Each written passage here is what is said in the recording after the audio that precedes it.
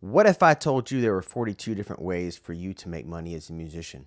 Would you believe me? I'll prove it to you. Let's do it.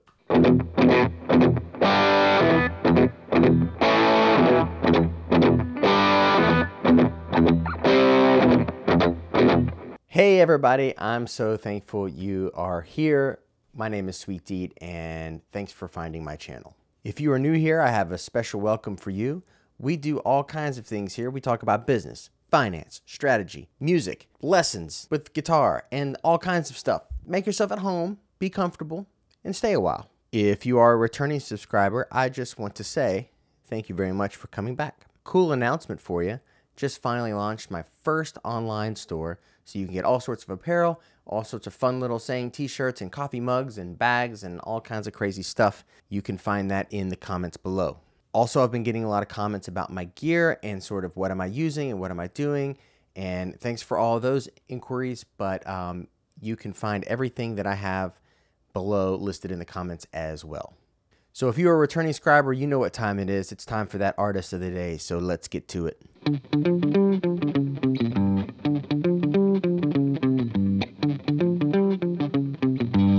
Today's artist of the day is Colonel Bruce Hampton, and I have no idea how I'm going to explain this. For those that you that know Colonel Bruce, you already know exactly what I'm about to say, and you could probably say it in a thousand different ways that I'm going to say it. But um, Colonel Bruce was somebody that was just 100% a unique human being that unfortunately is no longer with us, but the time that was spent here, he did amazing things for amazing musicians. Colonel Bruce's legacy goes far beyond what most people's careers would probably ever get to as far as things that he accomplished. He had a band that played the Atlanta Pop Festival in 1970 that featured Led Zeppelin and Jimi Hendrix, um, to name a few. But also, Bruce was somehow somewhat of a mentor to lots of great musicians and artists along the way. Bruce's ability to simply give musicians freedom and permission to play whatever they felt like on his stage gave artists a chance to really grow and become themselves while they played his music in his band. His reach goes beyond generations. We're talking musicians that are in their 50s and 60s, all the way down to musicians that are in their 20s and 30s. You just don't see many people like that that are sort of like a AAA baseball coach of musicians who take in all of these different types of musicians and then after time in his band go on to do amazing things. A band definitely worth checking out from his catalog is the Aquarium Rescue Unit and their records were absolutely groundbreaking from a genre perspective mixing rock and roll music with traditional folk instruments like the mandolin. That band's hype was probably captured the best by doing all of the uh, very famous H.O.R.D.E. tours in the 90s. I'll leave a link to some of Colonel Bruce Hampton's funniest antics that were ever recorded and put on YouTube in the comments below, as well as some links to some of his music as well. It's out there, it's weird, it's crazy, but somehow it's refreshing and also inspiring. So if you're listening up there in the sky somewhere, Bruce, we love you and we miss you. So let's figure out how to make money as a musician 42 different ways. Let's talk about it.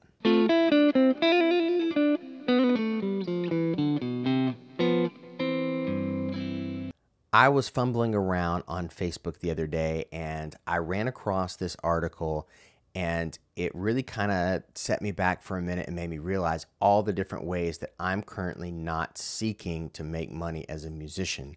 And it made me immediately realize that I needed to share this and get a little bit more in depth with it and let people know about the opportunities that exist that maybe aren't top of mind. Side note, sorry for whoever I saw this from on Facebook that I can't give credit for sharing it with me. I don't remember, and that was like weeks ago, and I'm sorry I can't remember. So the article breaks down 42 different ways for a musician to make money into a few different categories.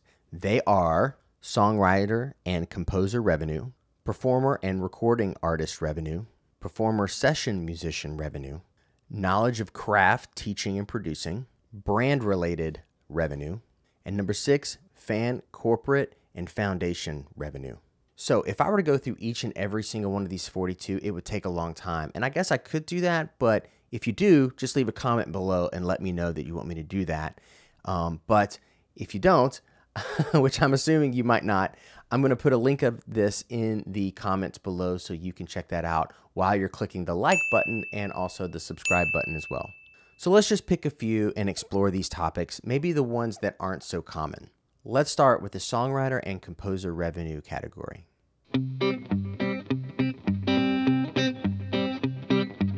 So, if you're a songwriter and you write songs for a living and you perform, and maybe you're a singer also, and you're constantly trying to figure out how to get your songs to either be bought by someone else or you're trying to figure out how to just get them heard in general, uh, this is a great category for you. But in this category, there were a couple of things that stood out I thought was really cool. How about ringtone revenue? Have you ever thought of that? You can put your music into ringtones and then upload them to these sites, and when people use them, you make money. It seems like everybody has Logic these days, so making a ringtone should be pretty easy. It's also a really cool way to kind of get your music out there if you are a composer.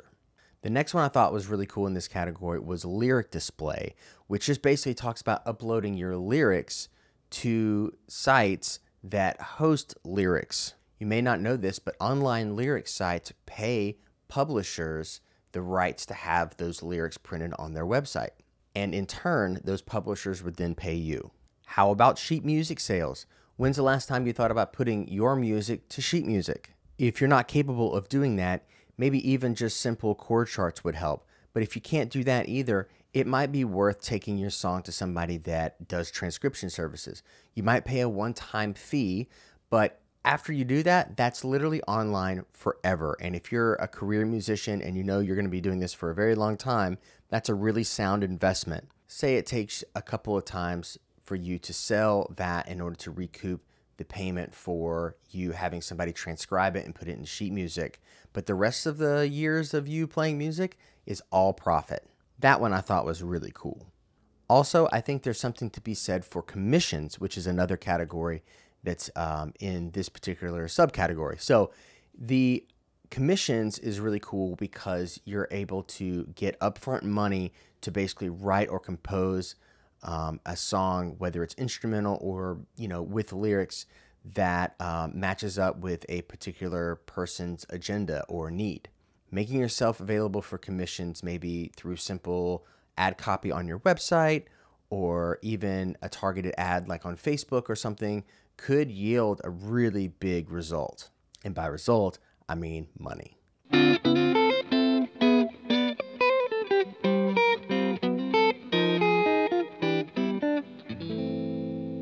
Moving on, performance and artist revenue.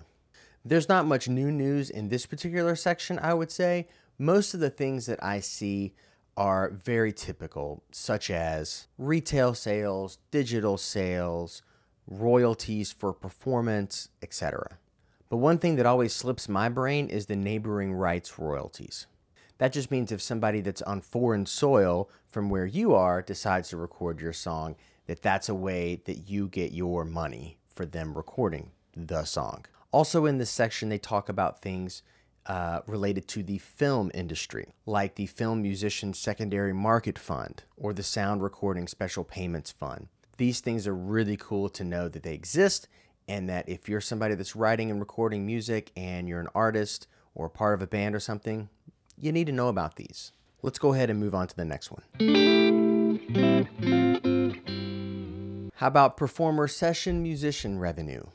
These are all very cut and dry, talking about like studio work, live work, etc. The one thing to notice in this section is the non featured artist payments. So if you're part of AFM or SAG, you qualify for this particular benefit of getting royalties, just generally speaking, for playing on the track. I think that's something that most people don't realize and um, could be missing out on some money. Also, this speaks to how active your AFM or SAG chapter is as far as their organization and such, which we will not get into that.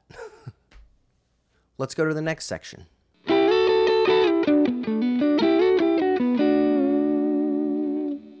This next section is called Knowledge of Craft, so teaching or producing. And obviously, the first two are teacher and producer. And I think we all know what that means. There's always academia, and those are always really cool to get. But, you know, those are highly competitive masterclass lecture type scenarios. And um, you might want to think about starting from the ground up with like masterclasses and things of that nature through your own social media live streaming format. You could easily set up a Zoom call or any of those types of things if you don't have a lot of gear, and you could charge a very honest fee for the production value uh, provided, and you can teach and tell people about what you do. You might be surprised how many people want to support you in the endeavor, and if you spend time advertising it like you would do a show or a concert, you might be surprised, again, who might show up. Let's move on to brand related things.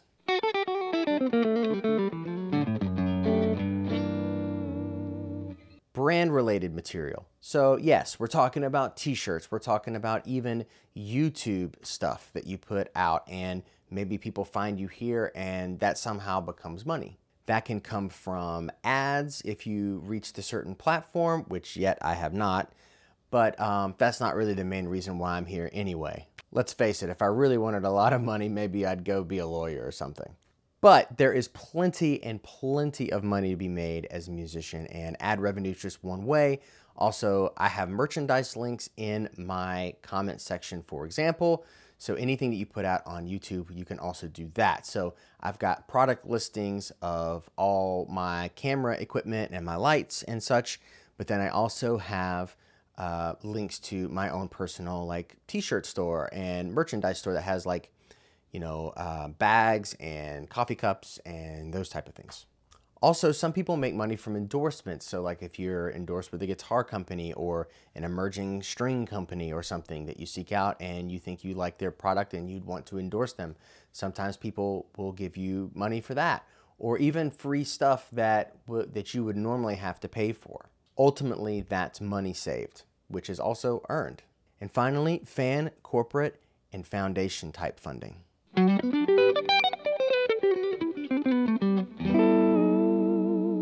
So obviously there are crowdfunding sites out there that you can still work with that are still popular to use like Kickstarter, etc. There's also sponsorship opportunities for people like if you think a brand really lines up with your mission and sort of your goals as an artist or just your social causes, you can reach out to these companies and show them a history of what you've been doing and how it relates to their brand. You'd be surprised how many people might say yes to you and giving in some form or kind that would uh, really help you out with maybe expenses or just in free stuff. The idea here is just to be creative and just to come up with ways that you can seek sponsorship for what you do. Sponsorship is something that is required to think outside of the box because whenever you're bringing this to somebody, it's really important that they know that you have their best interests at heart as well. In a video for another day, the best way to get a sponsorship is to have a friendship first. Another way for you to get funding in this subgroup is called grants, and I think we all know what they are. But often I feel like we don't really look out into the world to see what is available. My friend Stephen Wood, who is an unbelievable composer, but he's also a nature activist. He finds grants like this all the time where they'll take him and pay for him to go into these deep wilderness places and he'll compose music on something very simple like a handheld piano or something and then he'll take that music back, score it, turn it into a piece and then have it performed for uh, a particular organization, for example. It's creative thinking like that in these times that takes your ideas to where you are right now to a whole nother level. So be creative and just take a look and do some Google searching and see what you can find out on the internet. You might be surprised what fits you. So that was a lot. Go to this website down below, click on it, read through everything, and figure out some things that you're not doing right now that could be making you money. Speaking of making money, you can support this channel by simply clicking in the comments below, checking out the merch that I have, or checking out some of the gear that I use if you're interested in grabbing gear for your own personal endeavors. It's a wonderful time to be alive, and the internet is vast and 25 years old, and you could be taking advantage of it with your own creative spirits. So, check it out, check out my stuff, and until next time, I'm Sweet Deat like and subscribe, and I will see you next time.